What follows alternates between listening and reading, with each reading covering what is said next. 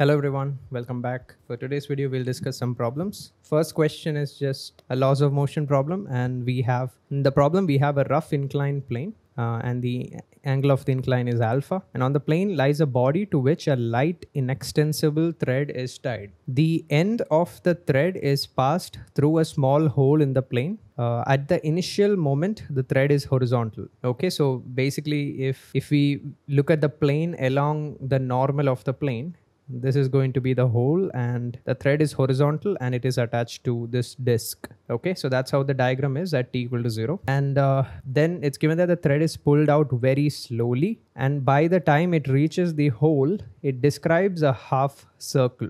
I mean this statement is a bit uh, incomplete. I guess what they meant to say was that the disk uh, describes a half circle okay even though it's written by the time it reaches the hole it describes a half circle. It should have been the disk describes a half circle okay. So now which of the following options is correct? So we have to compare the angle of incline to the angle of friction. Okay. And i guess the angle of friction is is basically they're talking about the angle of repose. All right. So let's just say this is the uh, view of the plane along the normal of the plane. So this is going to be the hole. And initially the disk was somewhere over here. Okay. And uh, let's just say initially this distance is some r. So so now what will happen is that this distance r will decrease because the thread is being pulled into the hole but yeah, the distance will decrease in a very slow manner. And it's also given that by the time um, the disk reaches the hole, which means uh, by the time r becomes equal to zero, the disk uh, describes a half circle. So, so in the problem statement, it's mentioned that by the time the disk reaches the hole, it describes half a circle. So, so basically the motion would look something like this. Okay. So this is like half a circle. After some time, the disk will be somewhere over here. And as you can see, this distance has reduced. And by the time the disk reaches the hole, the thread's length will tend to zero. So that's how the given situation uh, looks like. So this is going to be the trajectory of the disk. Okay. So now we know the trajectory of the disk. It's a circle, right? So the circle center is over here. So at some general angle from the horizontal, the disk will be over here. So the instantaneous displacement will once again be along the tangent, right, to the circular path. Or you can say the also the velocity will be, the resultant velocity will be along the circular path or tangent uh, or along this tangent, which means the force of kinetic friction uh, will be in this direction opposite to the velocity vector. We can say kinetic friction force will be opposite to the tangent. And um, so if this angle that the radius makes with the horizontal is theta, then Fk will make that angle with the vertical. Okay, so now of course we have mg sine alpha in this direction, the vertical direction. And we have the tension force, which is the third force. Okay, and the tension force will be towards the hole, right? So, so the tension force will be in this direction. Okay, so now the thing is, uh, as this is a semicircle, right? As this angle is theta, this angle will be theta by 2. So the tension force makes an angle of theta by 2 with the horizontal. Okay, so now the thing is as it is given that the distance r varies very slowly, it means that the disk is actually moving very slowly along the circular path, right? How, do, how did I say that? It's because we know that the velocity of the disk is along the tangent, right? So the component of the velocity along this string is actually the radial velocity that is decreasing this string length. And that is given to be extremely small, infinitesimally small, which means this total velocity vector is also very small. It means the disk velocity is very small at all times. Okay, or we can also say that the acceleration of the disk will tend to zero. And uh, we can just assume the disk to remain in equilibrium at all points along the circle.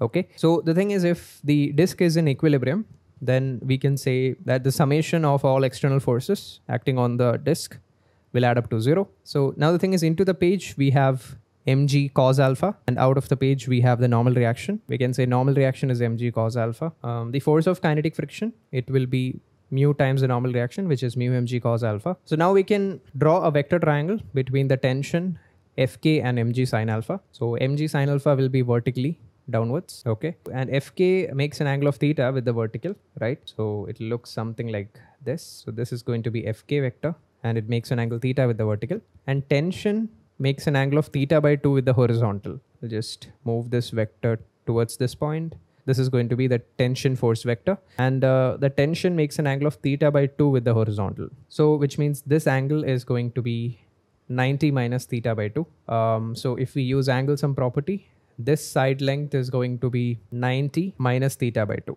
right? So which means this is an isosceles triangle. This angle and this angle are equal, right? Or we can say that this side length and this side length are equal.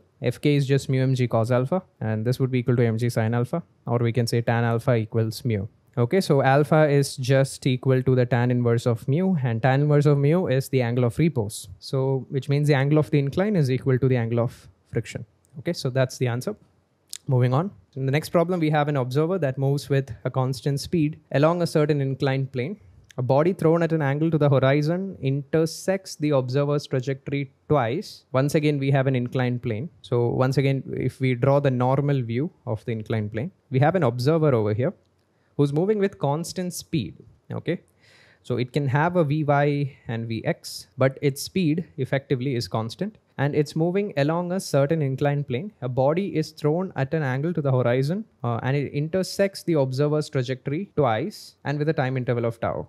So, so if we if project an object with some angle with the horizon, so it will move of course in a parabolic trajectory if we ignore friction right? So it'll look something like this. Uh, and it's given that it intersects the observer's trajectory twice, okay?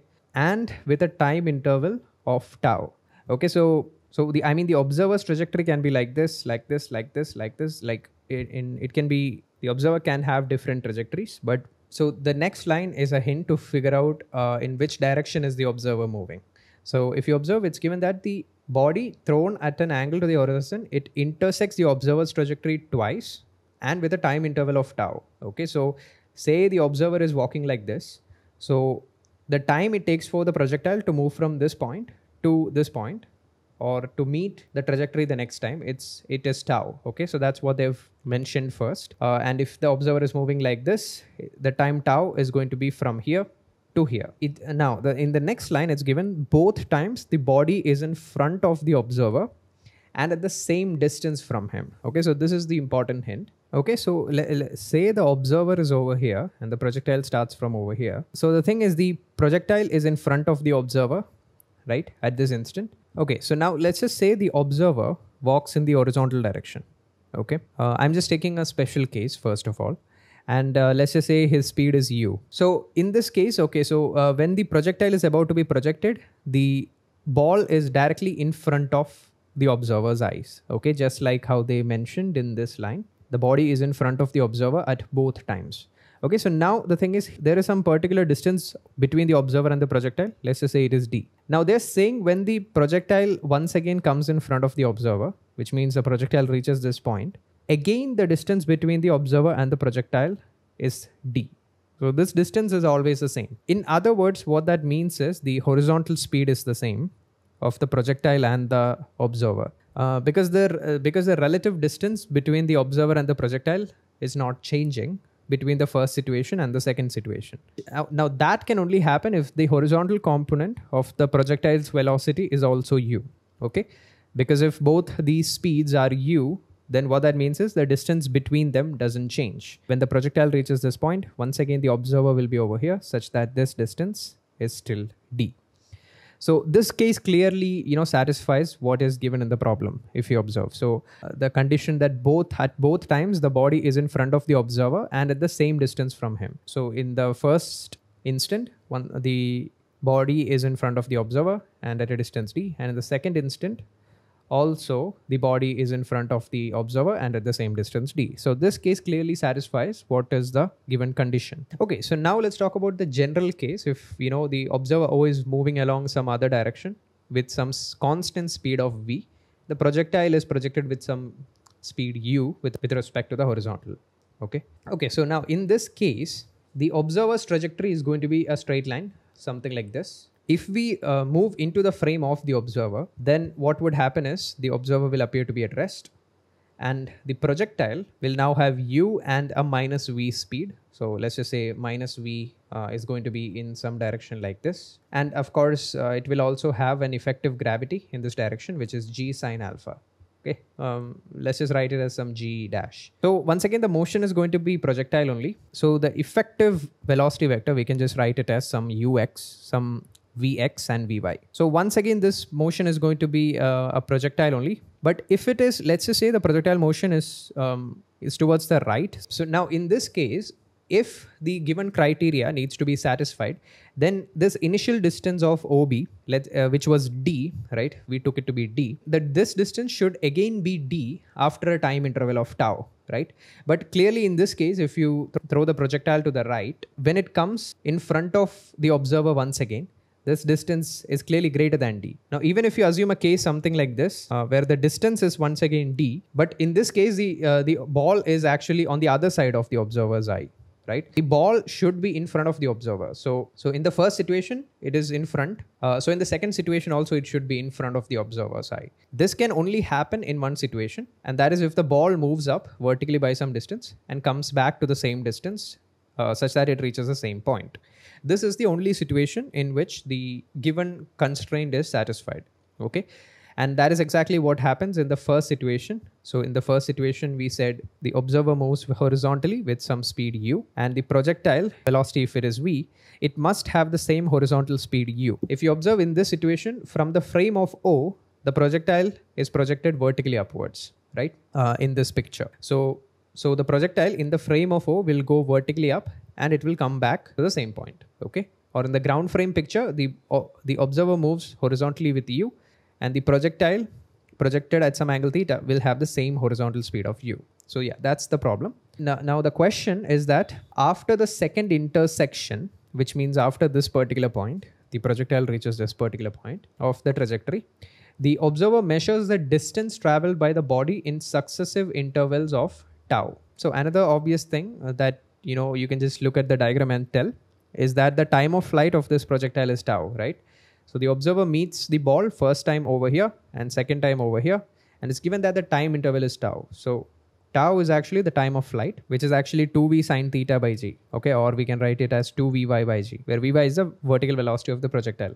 And here it's uh, g is actually equal to g sine alpha. Uh, doesn't matter. Uh, we can just take the symbol g dash. Okay. Okay. So this, let's just say it's our first relation. Okay. So now the thing is when the ball reaches this particular point, the observer is trying to measure the distance traveled by the ball in successive intervals of tau.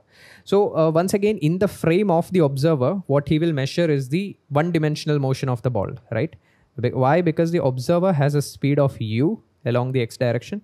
Projectile has a speed of u and vy after it reaches the second point. In the frame of the observer, this u we have to reverse and add to the projectile. So which means the projectile is just a one dimensional motion, which means uh, the observer will observe a one dimensional motion uh, along the y direction, you could say. Okay, so now it's just uh, motion under constant gravity with some initial speed. So if we take this as the positive y direction, the y displacement after tau seconds is going to be vy tau plus half g dash tau squared, right?